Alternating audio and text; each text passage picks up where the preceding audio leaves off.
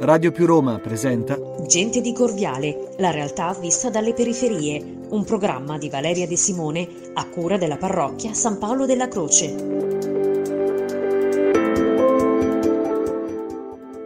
Mi chiamo Pino Galeota, sono il presidente Corviale Domani, che è un'associazione di coordinamento territoriale. La nostra storia nasce nel 2008, in quanto era stato definanziato un progetto del quadrante di Corviale, avendo io eh, fatto anche l'amministratore pubblico, quando ho deciso di autorottomarmi sono ritornato a fare volontariato sul anche sul territorio. Parte da lì, abbiamo fatto, prima di, di arrivare a fare un progetto più definito, abbiamo studiato il territorio, quindi abbiamo Abbiamo concordato con la Regione che facesse uno studio accurato rispetto a questo l'ha fatto, è stato fatto insieme alle università che eh, ha dato dei risultati su cui noi potevamo iniziare a lavorare. Siamo ritornati all'antico, ovvero all'inchiesta l'inchiesta sul territorio, quindi abbiamo messo le scarpette da tennis quando faceva caldo e i scarponcini quando faceva freddo e abbiamo visitato tutte le realtà territoriali. Abbiamo quindi incrociato la ricerca con la realtà territoriale. E da lì è nata l'idea di fare un, un distretto,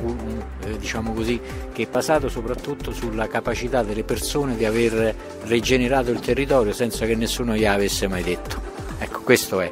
C'è stato una sorta di eh, senso di colpa da parte delle istituzioni per cui hanno messo dei fondi che non, spesso non venivano usati il nostro coordinamento, non so, 60 associazioni, poi le associazioni nascono e muoiono, poi si riciclano, eccetera, eccetera. Noi tentiamo di, di tenere aggiornato l'agenda, insomma, chiamiamola così e quindi nasce questa cosa e la vita è fatta di coincidenze. E diciamo noi le coincidenze ce le andiamo a cercare. Qualche volta sono positive e qualche volta sono negative. E in questo territorio vivevano due eh, responsabili del MIPACT che hanno capito qual era il nostro, diciamo, il nostro scopo. Intanto noi avevamo costruito col comune col territorio eccetera eccetera un rapporto. Però nel 2012 noi abbiamo fatto il primo forum nazionale dedicato a Corviale che si chiamava La Forza nel Segno e l'abbiamo fatta fatta all'interno del Ministero dei Beni Culturali.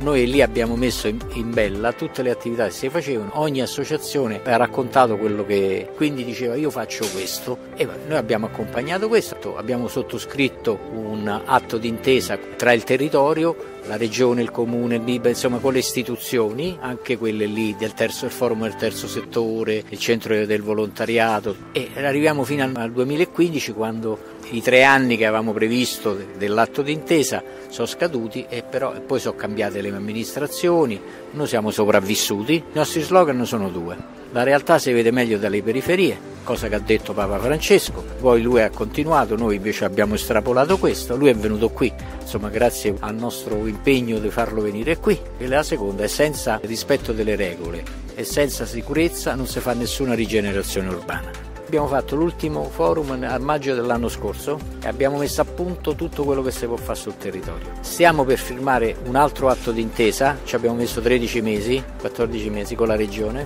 Abbiamo voluto che ci fossero presenti tutti coloro che negli ultimi 12 anni ci hanno accompagnato in questa avventura che nessuno credeva che potesse durare tanto tempo e quindi cominciamo la terza fase, la realizzazione. Grazie a tutto questo lavoro che abbiamo fatto, noi siamo l'unica realtà e dico purtroppo tre volte, che a Roma è in grado di, fare, di, di creare un'economia e un'attività e una storia green come si dice DIL, abbiamo 1400 ettari di parco, ma siamo gli unici che avendola studiata per 12 anni siamo in grado di poter mettere in cantiere questa cosa. Adesso poi chi vivrà vedrà. E proprio qualche giorno dopo aver incontrato Pino lo scorso 27 febbraio c'è stato un incontro istituzionale per avviare il percorso partecipativo sulla rigenerazione urbana del quadrante Corviale. È il momento di andare oltre la riqualificazione, ha detto l'assessore della Regione Lazio all'urbanistica e alle politiche abitative Massimiliano Valeriani, per rendere più incisivo il piano di azione al via tre tavoli di lavoro suddivisi in ambiente, energia e rifiuti, sociale, cultura e sport, sviluppo economico e commercio, che consentiranno di affrontare il programma di rigenerazione in tutti i suoi aspetti.